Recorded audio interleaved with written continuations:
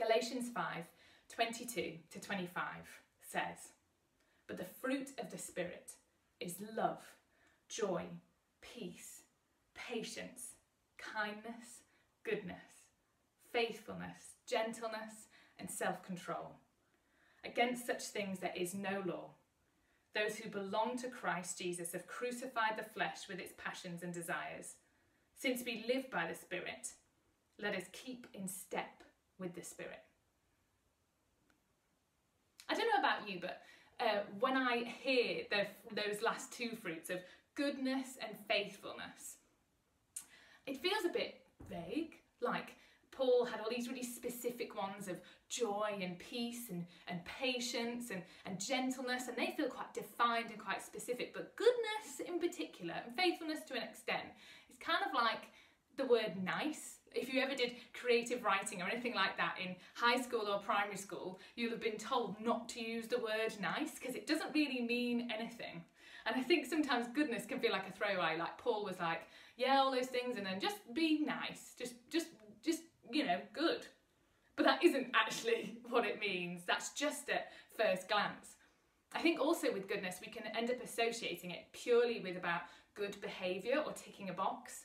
Um, I was out on a socially distanced walk with my mum the other day uh, in our uh, the village I grew up in, and we walked past uh, the nursery yard, uh, all closed up, and um, I was thinking about how uh, when I was about three years old, four years old, uh, there was this group of boys in nursery who never did anything that they were told and they'd put their hoods over their heads and run around and pretend their coats were capes. And I used to call them the Batman boys and talk about how they didn't do anything that the teacher said because um, I was a bit of a suck up to be honest.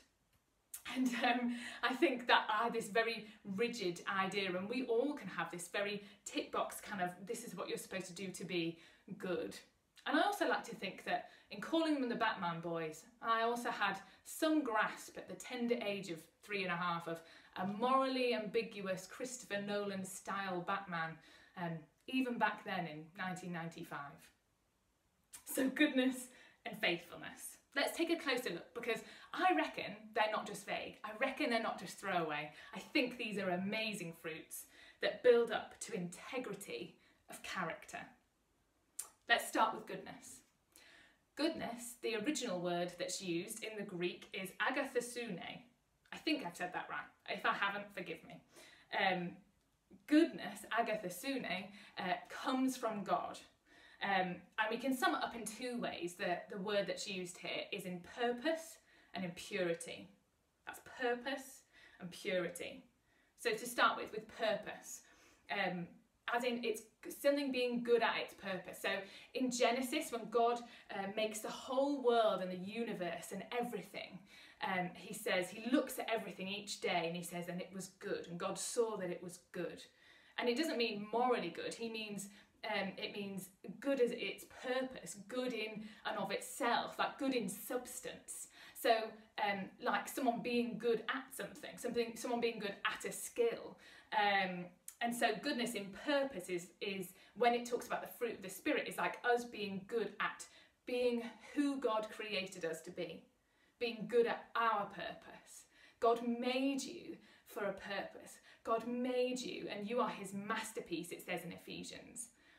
And so when God calls goodness out of us through the fruits of the Spirit, through his Holy Spirit living in us and us being in step with the Spirit, that's the goodness he's talking about, is about us being good at who he created us to be. The second aspect of goodness is purity, which is like morally good, uh, being a good person, doing the right thing, being motivated uh, in purity.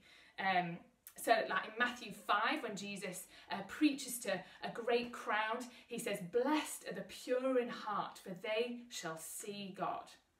Blessed are the pure in heart, for they shall see God. That's that kind of good. So goodness, agathosune, is sum- summed up in purity and in purpose. Let's turn to faithfulness, the second fruit that we're looking at today. The Greek word for this is pistis. And I might have said that wrong as well, apologies. Um, this isn't just about belief in and of itself, but more about trust and fidelity. So it's not the faith like us having a faith and a belief, Um, it's like, um, again, we can split it into two. Uh, it's summed up in trust and fidelity to other people and steadfastness in how we live. So it's like faithfulness to others and faithfulness in like our, the way that we do our lives. So I sum that up as uh, the way I remember it is fidelity to others. So someone who keeps their promises, who is trustworthy, who doesn't gossip, and also steadfastness in how we live. So I think that's around faithfulness to God, faithfulness to the purposes that He's called us to, and steadfastness in the sense of not being distracted and blown about by the wind. In James, it talks about don't be distracted, don't be like waves that are just blown about in the sea, but be um, intentional. Focus on God, run the race laid out for you, it says in Hebrews. That's that kind of steadfastness. So it's not about, um, it's not being flaky, it's not uh, being distracted, but being committed and loyal. So pistis, faithfulness, that's steadfastness, and fidelity to others. And that's also goodness, agathosune, purity and purpose. And we can sum them up in thinking about integrity of character. So, how do we grow in these? Do we just try harder? I don't know about you, but um, in lockdown, I've been watching a lot more TV than I did previously. And one of the things that myself and my husband Ben and Annabelle, who's been staying with us, have ended up watching is the TV series Friends, which is a great example of a show which gets less and less funny as each season goes on. But we've still made it to season nine. Well done us. Um, and one of the episodes in Friends uh, is where Phoebe tries to prove to her friend Joey that there is such a thing as a selfless good deed. Um, so she lets herself be stung by a bee, but then realizes that the bee will die. She uh, donates money to charity, but then there's this big announcement, and then everyone announces her name that she's donated this money. So she uh, feels bad because then she gets to perform that and enjoy uh, having performed the good deed. And it just reminds me of how when we just try to be a good person, when we just try to be more faithful in our own strength, it can end up actually being um, not quite as good or as selfless as we might think. We end up relying on that performance, we end up relying on our money or our skills. Um, we end up substituting integrity with performance. We think that our skills, our talents are what's important rather than real goodness. We think it's performance that gets us in the room with people and gets us in the room with Jesus. We make it all about what we post online or what we volunteer in and what we give away. We make it about whether we pray enough or read our Bible enough or whether we're talented enough or clever enough, whether we're upfront at work or in church, and whether we are woke enough. Jesus values integrity over performance. He values character over competency. 1 Samuel 16, verse 7 says, God doesn't look at what people look at, He looks at the heart. He looks at our character. It's how we're called to live, it's to grow in our character and not just make it all about what we can do and how good we can perform, how good we can look to other people. And when we talk about the fruits of the Spirit, what that means is God's Spirit is invited to live in us. When we invite Him in and we say, God, come and fill me with your Spirit, we're being in step with His Spirit, like it says in verse 25. It's like being rooted in new soil. In Psalm 1, it says, um, Blessed is the one who does not walk in step with the wicked, or stand in the way that sinners take, or sit in the company of mockers, but whose delight is in the law of the Lord, who meditates on God's law day and night. That person is like a tree planted by streams of water, which yields its fruit in season, whose leaf does not wither. Whatever they do prospers. That doesn't mean we're going to have an easy life, but it means that when we want to live in God and make home in Him, it's like a tree that is taking up the goodness and the nutrients. It's planted in this soil, and that's how it bears the fruit by taking up that goodness and bearing it on its branches. Jesus said, I am the vine, and you are the branches.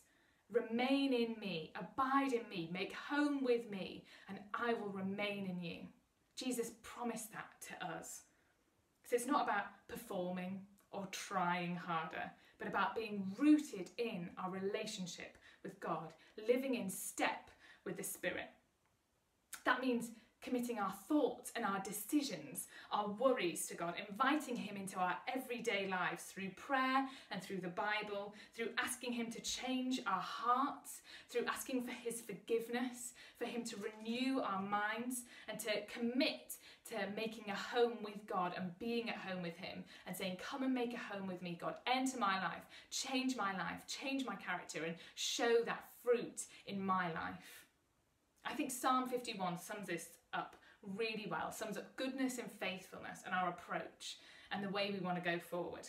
David says, the writer of the Psalms, Create in me a pure heart, O God, and renew a steadfast spirit within me. Create in me a pure, a good heart, O God, and renew a steadfast, a faithful spirit within me. That purity of wanting goodness and wanting to have a steadfast spirit, God. Renew that steadfast spirit within me that doesn't get distracted, that doesn't get blown about, but is steadfast in following you and in fidelity to others.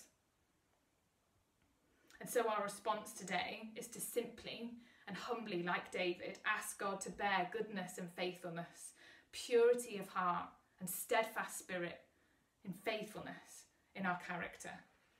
This isn't about feeling guilty or ashamed, feeling not good enough. The context of this psalm, David wrote this psalm when he um, was plotting, when he had plotted to um, kill the husband of the woman that he had slept with. He had slept with Bathsheba. He'd committed adultery with her. He'd been unfaithful um, by taking her away from her husband and plotting to murder him. He was in the worst place possible. He was supposed to be an exalted, holy, good, worshipful king of Israel with everything that he could ever want and he'd still like let God down. He'd still let his character down.